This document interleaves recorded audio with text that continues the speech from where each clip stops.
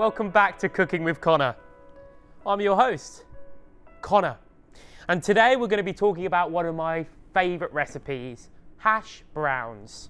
To start, you'll need boop, boop, boop, three potatoes, and we're going to cut sharply down.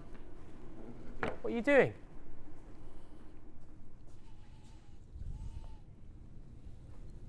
Hello world, this is CS50 Live. Now CS50's team recently had an opportunity to cross the pond and head over to the United Kingdom, where we reunited with our friends from TechSoc, an undergraduate organization of students interested in technology at University College London, or UCL, where we held the second ever CS50 hackathon. Thereafter, we hopped on a train and headed to Manchester, where we met with HackSoc, another student group, this time at the University of Manchester, with which we hosted our first ever CS50 hackathon. Now, not only were quite a few students in attendance, so were quite a few pizzas, as captured here in this photo of our receipts, but also in attendance was CS50's own Dan Armendariz, whom you might recall as one of the authors behind CS50's own IDE. In fact, we happened to catch a little bit of Dan on camera. Shall we roll film?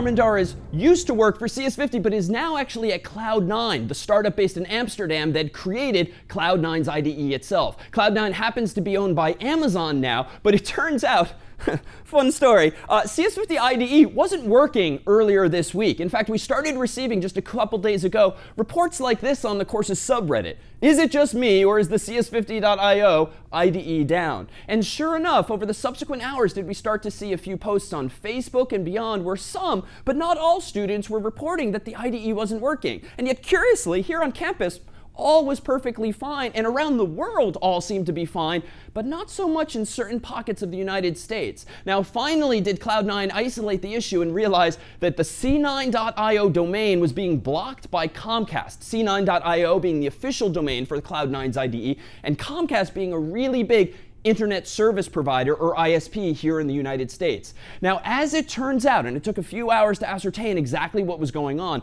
Comcast had essentially blacklisted or banned some of Cloud9's IP addresses, the result of a, uh, a bad customer having used the Cloud9 service to wage a sort of phishing attack against some Comcast customers. And so Comcast simply shut off that IP, but unfortunately, any other workspaces that were hosted at that same IP address. Fortunately, our friends at uh, Cloud9 did in fact resolve the issue ultimately, and everything should be now back online. But this was indeed a bit of a puzzler, so it was, it was only affecting just a subset of CS50's users.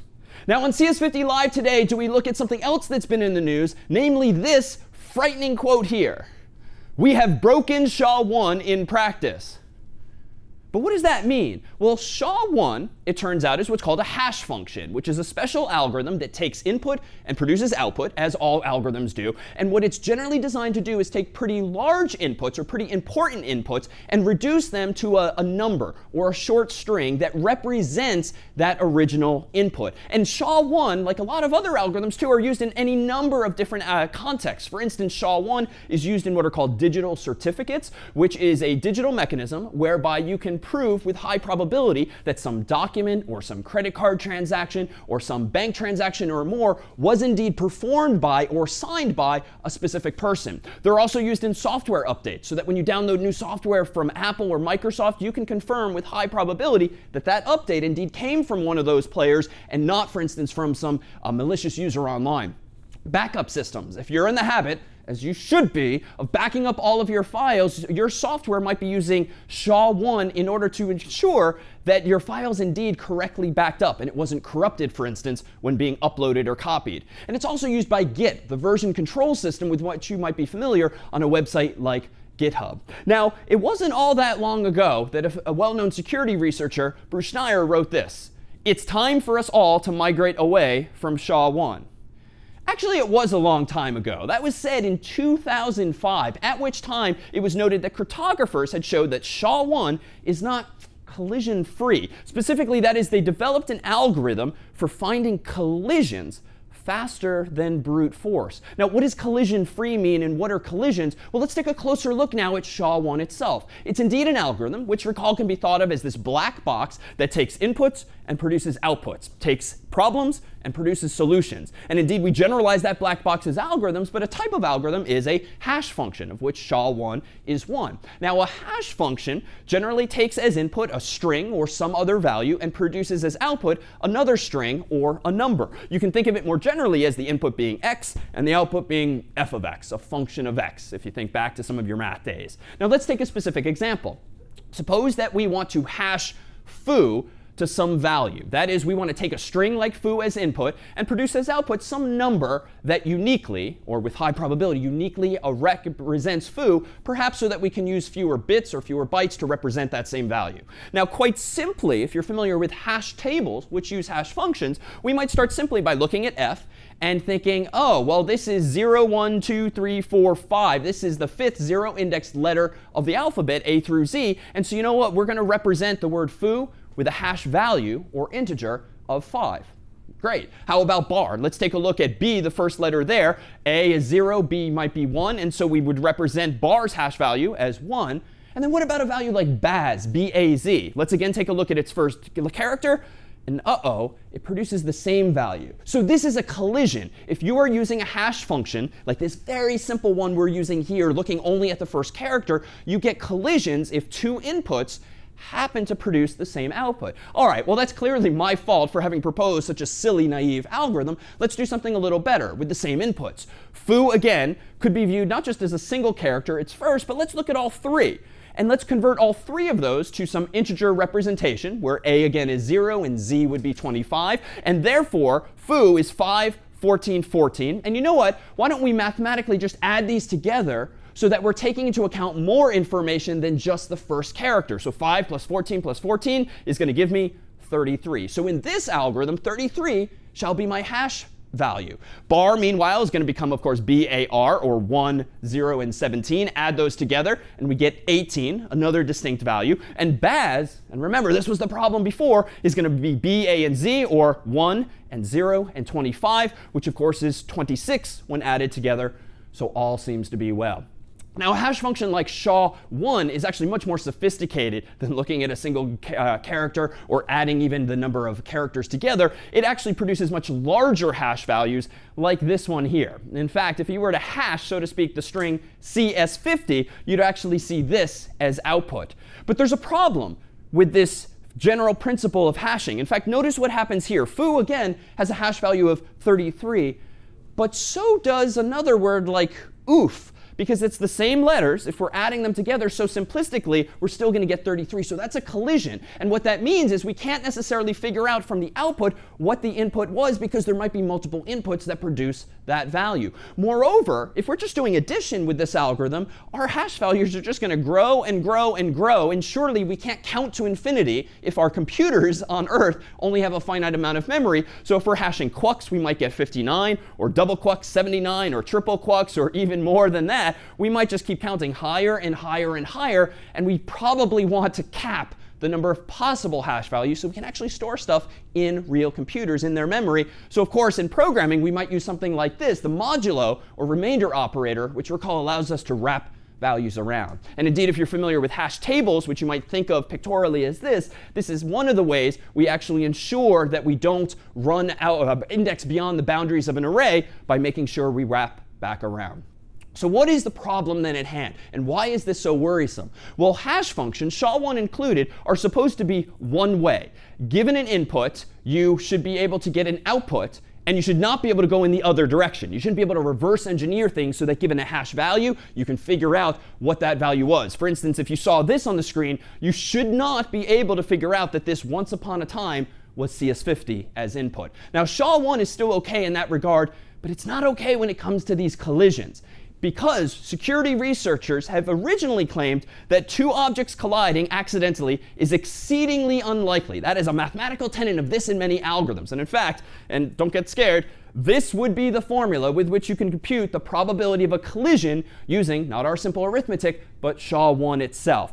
This yields really, really, really, really low probabilities that should be quite reassuring enough. In fact, the probability of a collision with this SHA-1 algorithm should be 1 divided by 2 raised to the 160th power. If we do that math, that's 1 divided by this big number here, which is 1 quindecillion a number so big, I had to Google how to pronounce it in anticipation of saying it just now. If we actually do that math, the probability is so, so close to zero. You can see that 0.0000 all the way down to those digits there is the probability of a collision. Now, this seems all very abstract. How can we wrap our minds around this a little more effectively? Well, consider the planet Earth. There's a whole lot of sand on Earth. And indeed, according to NPR, there should be uh, quite, uh, 7 quintillion grains of sand, eh, give or take, on planet Earth. Now, that's a lot of grains of sand. So the probability of a collision in the SHA-1 algorithm, theoretically, would be like looking on Earth for a specific grain of sand out of all of the grains of sand on Earth. And actually, I'm oversimplifying. You wouldn't have to just check this Earth looking for a specific grain of sand. You would have to search 194 octillion planet Earths identical to this one, each of them with their own deserts of sand, in order to find that one possible collision. Suffice it to say, that should be super, super unlikely. And yet, computers are a lot faster than us humans. In fact, in 2015 was The Shappening, not to be confused with the hit series uh, The Happening, starring Mark Wahlberg, at which point security researchers announced we just successfully broke the full inner layer of SHA-1. So a portion of the algorithm used for hashing was cracked using, frankly, quite a few GPUs or graphical processing units. 64 GPU cluster was used to uh, essentially uh, crack the hash function in order to figure out a possible uh, form of collision. And it's using hardware that looks a little something like this. In fact, you might have these in your PC if you're quite the gamer. GPUs are highly specialized for lots of parallel processing. So this is increasingly what CS researchers are using. They estimated ultimately, this team, that the SHA-1 collision cost today in 2015 should be between 75,000 US dollars and $120,000 if you rent Amazon EC2 cloud computing over a few months. And this is the key takeaway, and this is why it's so worrisome. That financial amount is within the resources of a criminal syndicate. In other words, by investing that much money in a hack or an exploit, could bad guys theoretically compromise the systems out there in the world, credit cards, passwords, and the like that rely on SHA-1, at least in part. For more on this particular attack, take a look at this URL here. But in conclusion today, unfortunately, it was just days earlier that shattered now followed the Shappening, wherein researchers uh, from Google in the Netherlands announced that we have broken SHA-1 in practice. So not just a portion of the algorithm, but the algorithm itself by finding a collision and demonstrating a mechanism for generating such collisions. This research result is so significant that it even has its own logo. And ultimately, what the researchers put forth was this.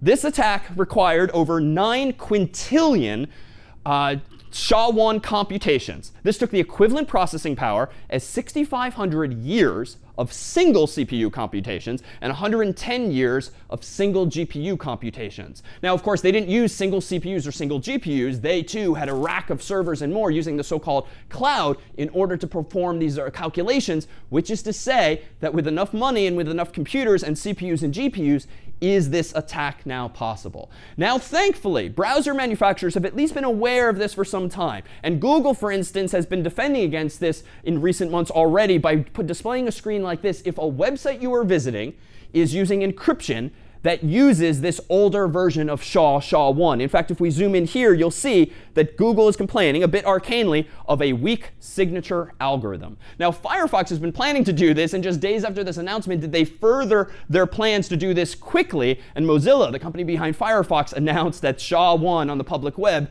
is now over. And there are indeed solutions, and there have been for some time. So the real result here is humans really uh, ex expediting their transition away from SHA-1. There's algorithms like SHA-256, SHA-3, and others, which not only are different algorithms, but also use many, many more bits to actually produce those hash values, so collisions are even less likely. Indeed, if I may say so myself, uh, CS50's own website here is secure according to Google Chrome because we've indeed been using SHA-256 for some time. Now, for more on this, head to this URL here. And indeed, yes, this research result is so significant, it even has its own website. Now that's it for CS50 Live. Thanks so much to the whole team Ramon, Dan, Scully, Ian, Marinda, Arturo, Christian, Doug, and of course, Chef Connor.